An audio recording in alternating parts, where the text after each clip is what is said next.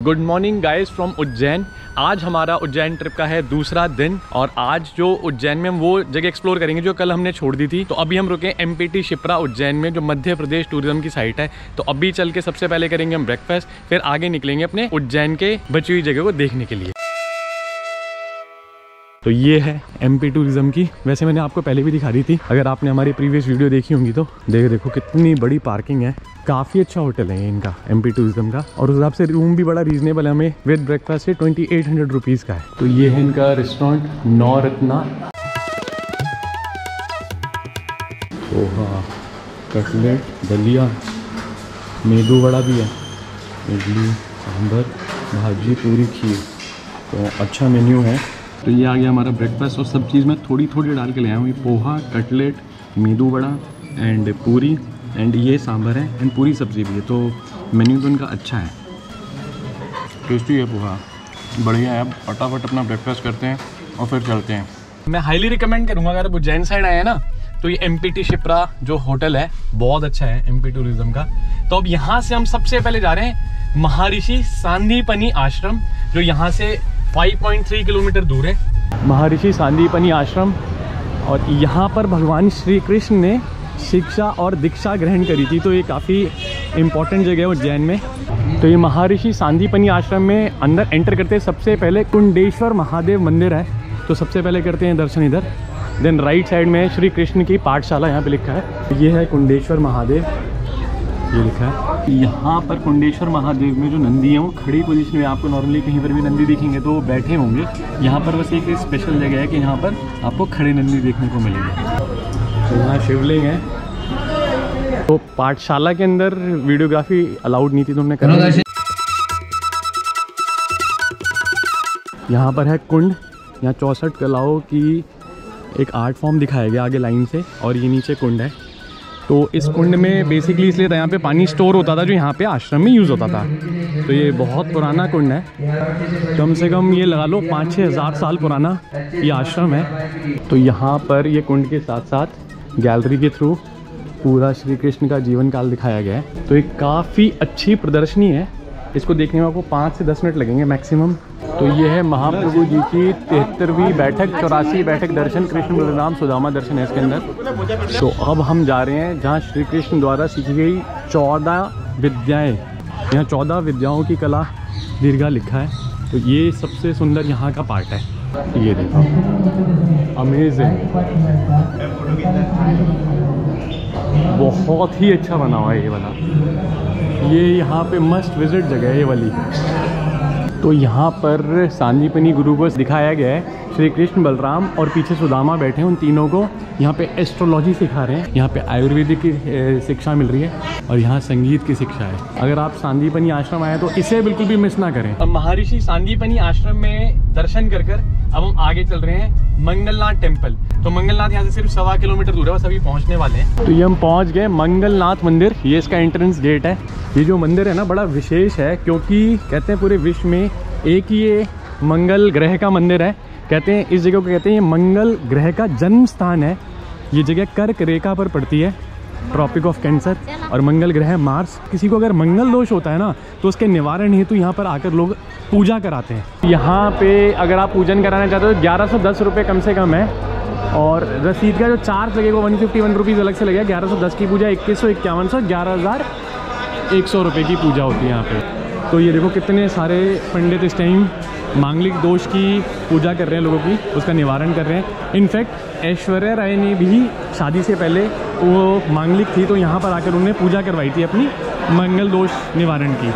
तो ये आ गए हम फ़र्स्ट फ्लोर पे। यहाँ पर फ़र्स्ट फ्लोर के ऊपर है मंदिर। तो यहाँ लिखा है, स्कंद पुराण में भी इस जगह का उल्लेख है कि ये मंगल ग्रह का जन्म स्थल है।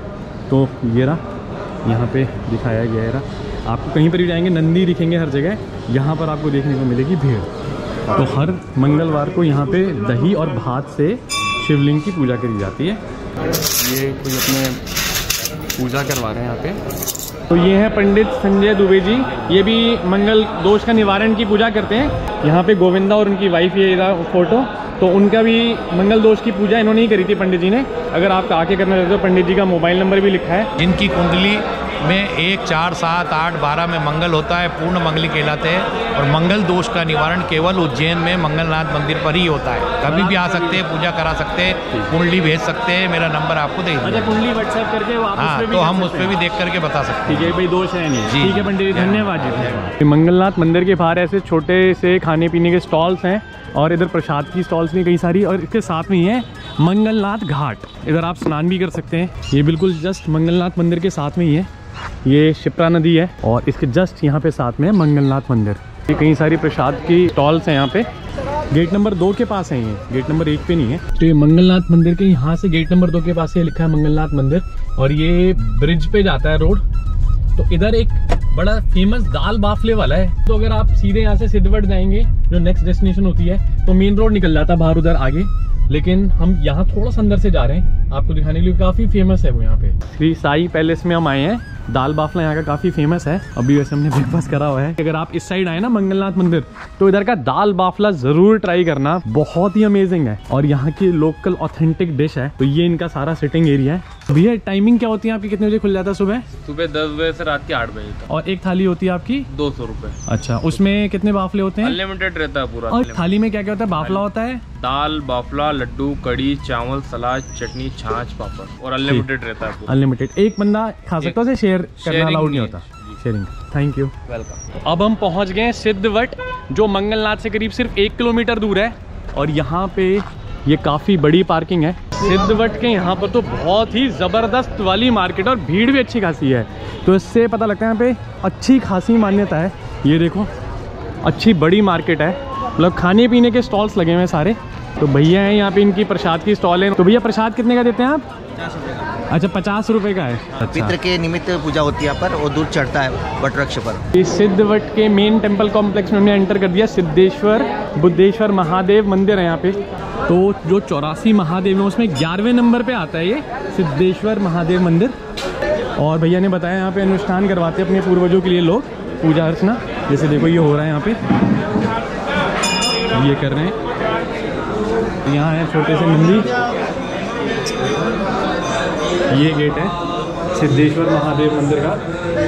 हर हर महादेव। तो ये दूसरी तरफ़ से व्यू है सिद्धेश्वर महादेव का।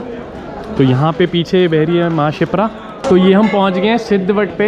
यहाँ माँ पार्वती लिखा है, क्योंकि माँ पार्वती ने ये माना जाता है कि अपने हाथों से इस वृक्ष को लगाया था। तो जो ये वृक्ष दिख रहा है, आपको यही सिद्धवट है जो माँ पार्वती ने अपने हाथों से लगाया था। मुगलों ने इसको पूरा काट दिया था और सात तवे रख दिए थे। उन सात तवों को फाड़ कर भी ये वृक्ष दोबारा निकल गया। इतने हज़ारों साल से इसी जगह पे और उसके साथ में ही नीचे है माँ शिप्रा।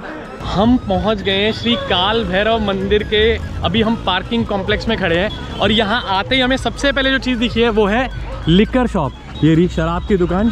काल भैरव के, उनको अर्पित करी जाती है मदिरा। तो ये काल भैरव मंदिर की मार्केट स्टार्ट हो गई है। तो यहाँ पे आपको काफ़ी सारी शॉप्स मिलेंगी प्रसाद लेने के लिए। नज़र बट्टू भी बिखरे यहाँ पे। ये रहे काफ़ी सारे। ये रही एक और। लिकर शॉप जो मैंने आपको बताया कि काल भैरव को प्रसाद के तौर पे मदिरा चढ़ाई जाती है, अर्पित करी जाती है। और जो काल भैरव मंदिर है, इसका स्कंद पुराण में भी विवरण है, अवंतिका खंड में। जैसे टोटल सप्त पुरियाँ हैं, उसमें से एक पुरी अवंतिका पुरी है, उज्जैन जिसे कहते हैं, उसका पौराणिक नाम अवंतिका है। तो ये महाकाल मंदिर में एंटर करते हुए आपको हर जगह पे धागे मंदिर मिलेंगे मन्नत के। तो लोग यहाँ पे बाँध के जाते हैं। अपनी मन्नत कुछ मांग के जाते थे, पूरी होती होगी तो धागे को खोलते होंगे या क्या करते हैं? मुझे चीज़ की नॉलेज नहीं लेकिन यहाँ पे दोनों तरफ़ बंधे हुए हैं धागे। तो हम श्री काल भैरव मंदिर के मेन गेट सामने आ चुके हैं। वहाँ आपको फ़ोटो दिख रही होगी श्री काल भैरव की। और जो ये काल भैरव मंदिर है ना, ये करीब 6000 साल पुराना मंदिर है, बहुत पौराणिक मंदिर है। जो महाकाल है, वो उज्जैन के राजा है ना तो जो काल भैरव हैं, ये यहाँ के कोतवाल हैं। तो यहाँ की रक्षा करते हैं तो इनकी इजाज़त के बगैर है ना उज्जैन में एक पत्ता भी नहीं हिल सकता। तो इनकी बहुत ज़्यादा मान्यता है। तो अगर आप उज्जैन आए हैं ना तो एक महाकाल के और एक काल भैरव के दर्शन तो आपके मस्त हैं। आप मिस नहीं कर सकते, महाकाल के दर्शन तो करेंगे साथ में काल भैरव के दर्शन ज़रूरी हैं। तभी आपके पूरा कंप्लीट माने जाएँगे दर्शन। कुत्ता होता है जो काल भैरव की सवारी होता है, यहाँ पे बना हुआ है मंदिर के एंट्रेंस गेट पे, और वो भी काले रंग का होता है। ये देखो। ये काल भैरव मंदिर में कुत्ता बैठा है, जिसको लोग भोग लगा रहे हैं, और यहाँ पर भी एक छोटा सा बना हुआ है। ये ना, जैसे मैंने आपको बताया सवारी होती है काल भैरव की। जो ये काल भैरव मंदिर अभी राइट नाउ जो आपको दिख रहा है ना ये मराठों ने बनवाया था तो काल भैरव की जो मूर्ति है, जो अंदर है, प्रतिमा, उसके सर पे जो टोपी है, वो भी मराठा टोपी है। और यहाँ पे साइड में दत्तात्रेय मंदिर, और ये है दीपमाला। तो इधर दीपमाला पर हाथ से सिक्के को चिपकाते हैं यहाँ पे, और अगर आपका सिक्का चिपक जाए तो आपकी मन्नत पूरी होती है, जो भी आप मन्नत मांगेंगे।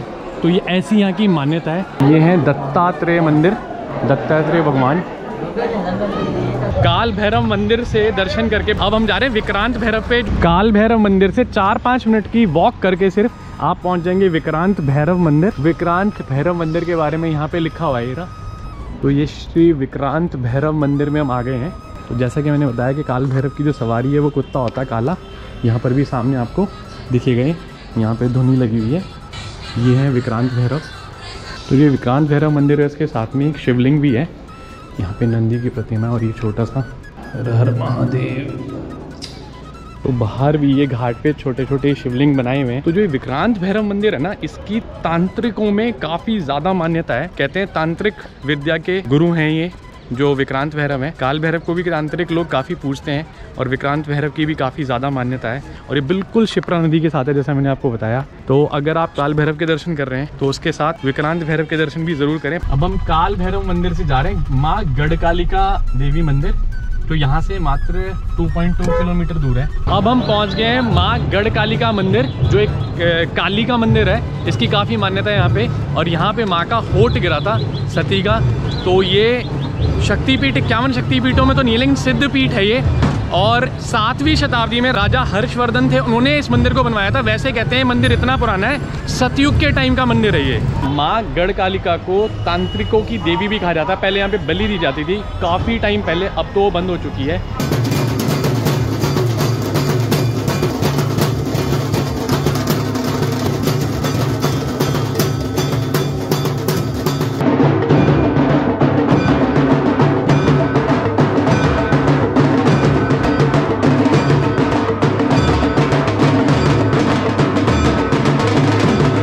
माँ गढ़ कालिका मंदिर में हमें आरती देखने का सौभाग्य प्राप्त हुआ, मज़ा आ गया।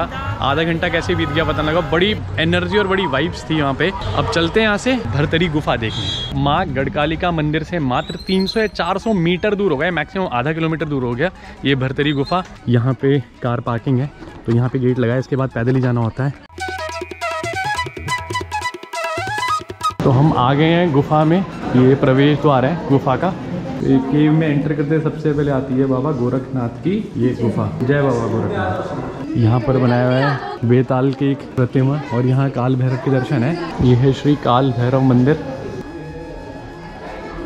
तो जैसे ही आप एंटर करेंगे, आपको दो गुफा मिलेंगी। एक तो ये पहली गुफा, ये गुफा नंबर दो है, ये योगी गोपीचंद महाराज की है। एंड ये जो गुफा नंबर वन है, ये है राजा भरतरी की गुफा। तो इसमें चलेंगे हम पहले। तो इसमें लिखा है, एक बार में पचास व्यक्ति जा सकते हैं। थोड़ी संकरी अंदर से एंट्री है। एंड जो राजा भरतरी थे, ये राजा विक्रमादित्य के बड़े भाई थे और इनकी जो रानी थी पिंगला, की मृत्यु के बाद ये उन्होंने इनको धोखा दिया था, ये कहते हैं। उसके बाद इन्होंने योगी का धारण कर लिया था जीवन और यहाँ पे 12 साल तपस्या करी थी इस गुफा के अंदर। 12 वर्ष तक उन्होंने यहाँ तपस्या करी थी। इंद्रदेव ने प्रहार किया था बाबा जी के ऊपर। अच्छा इंद्रदेव ने राजा भरतरी पे प्रहार क्यों करा था? इसलिए किया था कि ये कहीं सिंहासन पे मेरे राज ना कर ले भरतरी। अच्छा, उन्होंने इतनी कठिन तपस्या करी 12 साल बारह साल। तो इंद्रदेव के मन में ऐसा लगा की कहीं ये सिंहासन पे राज कर लेंगे तो उन्होंने वज्र का प्रहार किया था तो ये शिला जो बीच में से टूटा था ये बाबा का तो हाथ है अच्छा इस सिर्फ़ एक हाथ से उन्होंने रोक दिया था, रोक दिया था भरतरी उनके वज्र को। इंद्रदेव। के इंद्रदेव। और ये राजा भरतरी की राजा है। भरतरी ये उनका धुना है यहाँ पे। अच्छा ये उनका धुन है। और यही जगह थी जहाँ पर उन्होंने 12 साल बारह साल कठोर तपस्या की थी। तो इधर है एक गुफा जिसमें कहते हैं चारों धाम का रास्ता जाता है यहाँ से। ऐसा माना जाता है कि चारों धाम का रास्ता निकलता है यहाँ से। काफ़ी अच्छे रहे दर्शन नीचे हमने देखे जो गुफा में राजा भरतरी के। अब चलते हैं गुफा नंबर दो में जो उनके भांजे ने भी तपस्या करी थी। वो थे योगी गोपी चंद महाराज। यह है गुफा नंबर दो। काफ़ी नीचे होके जाना पड़ रहा है। मेरे हम गुफा के लास्ट पॉइंट में आ गए हैं। अच्छा यहाँ पे शिवलिंग है और यहाँ पे नीलकंठेश्वर महादेव करके बनाया हुआ है। तो यहाँ पे तपस्या करी थी गोपी चंद ने। तो गुफा के साथ में यहाँ पर है एक मंदिर। ये है नवनाथ मंदिर। अच्छा ये है बड़ा मंदिर। गुरु गोरक्षनाथ का वो छोटा था, गुफा के अंदर जो देखा था हमने। और ये काफ़ी बड़ा मंदिर है।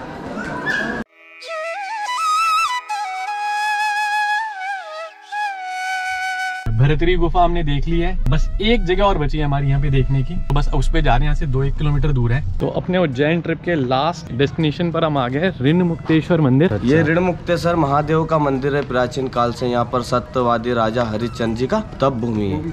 तो ये ये क्या चीज़ है? इसमें क्या क्या होता है? चने की दाल है नारियल है उसमें सवा किलो दाल है गुड़ है केसर है हल्दी है नारियल है पीतल का लोटा है। ये पूरा इसमें पूरा सब कुछ होता है ही है पंच पूजा कितने का होता है? ये डेढ़ सौ रुपये तो इससे क्या होता है? आप बता रहे थे अपना ऋण मुक्ति जैसे कि पितृ ऋण मात ऋण गुरु ऋण अन्य ऋण धरती ऋण। तो यहाँ पर आने से बाबा के दर्शन करने से यहाँ की जगह से मुक्ति मिलती वो ऋण से मुक्ति मिलती तो इसीलिए ऋण मुक्तेश्वर है। हाँ इसीलिए अच्छा तो ये बरगद का पेड़ है यहाँ पे काफ़ी बड़ा। तो इसको भी कहते हैं कि सतयुग से यहाँ पर है। काफ़ी विशाल पेड़ है काफ़ी विशाल इसका जो तना है नीचे से। अच्छा ये इस तरफ़ है। शिवलिंग। तो ये है मंदिर। इसमें चलते हैं और दर्शन कर लेते हैं। ये देखो मंदिर में, इसमें छोटा सा शिवलिंग और ये पेड़ का तना है, बहुत बड़ा। यहाँ पे। तो जो ये ऋण मुक्तेश्वर टेंपल है, जस्ट शिप्रा नदी के साथ है, ये है शिप्रा नदी। तो ये छोटा सा टोटल टेंपल कॉम्प्लेक्स है। ये है वीरभद्र महाराज, इनकी प्रतिमा है यहाँ पे। तो ये झूला है, ये कहते हैं विक्रम बेताल का झूला है वाला। इसको झूला झूलते हैं यहाँ पे लोग। ये भैया ने बताया यहाँ के हैं जो। उज्जैन की सारी जगह हमारी कवर हो गई हैं। बस एक खाने की जगह और दिखानी है आपको। वो काफ़ी फ़ेमस फ़ूड आउटलेट है यहाँ उज्जैन का।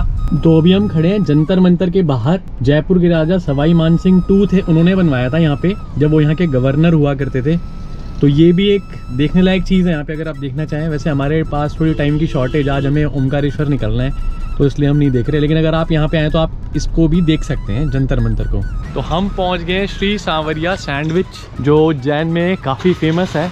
कोई भी उज्जैन में जो रहता होगा, उसको ज़रूर पता होगा ये। तो इस पर चल के इसकी करते हैं ट्राई सैंडविच अच्छा एम्बियंस है। बढ़िया बनाया हुआ है। कैसी है मस्त है? हैं। फ़र्स्ट टाइम खा रहे हैं। आप तो पहले भी बहुत बार खा चुके हो होंगे मस्त है ना? चलो। हमने इनका लिया है समोसा शाही समोसा। एक्चुअल में यहाँ पे ना पैटी को समोसा कहते हैं। जो हमारे वहाँ पैटीज होती है ना उसको कहते हैं समोसा। ये देखो। ये पैटी है तो ये शाही लिया है। इसके ऊपर ये देखो कितनी ये क्रीम और ये सब कुछ कितना डाला हुआ है। चीज़ चीज़ है ये। तो खा के बताता हूँ कैसी है। काफ़ी अच्छी है। एकदम क्रिस्पी और टेस्टी बहुत ही बढ़िया है। काफ़ी फ़ेमस है यहाँ पे। तो अगर आप उज्जैन आए हैं और भैया फ़ूड लवर हैं तो ये जगह आप एक्सप्लोर कर सकते हैं। बढ़िया है। तो जो हमने शाही समोसा लिया था ना ये ये पैटीज ही एक्चुअल में, ये एट्टी रुपीज़ की थी। इनके पास बीस रुपये में भी है। तो उनके प्राइस इतने रीजनेबल है ना। सांवरिया पे समोसा खा के हम अपना उज्जैन का ट्रिप यहीं पे ही कंप्लीट करते हैं, क्योंकि उज्जैन में हमने सब कुछ दिखा दिया आपको। आपको कैसा लगा हमारा उज्जैन का ये ट्रिप कमेंट करके नीचे ज़रूर बताएँ। अब हम उज्जैन से निकल रहे हैं, ओमकारेश्वर के लिए, जो यहाँ से करीब करीब 140 किलोमीटर दूर है। अभी वाया इंदौर होते हुए जाएँगे हम ओमकारेश्वर।